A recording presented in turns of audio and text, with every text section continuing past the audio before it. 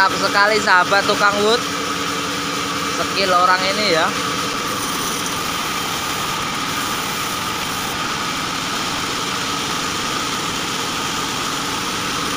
Itu biar kita Sudah kok. orang.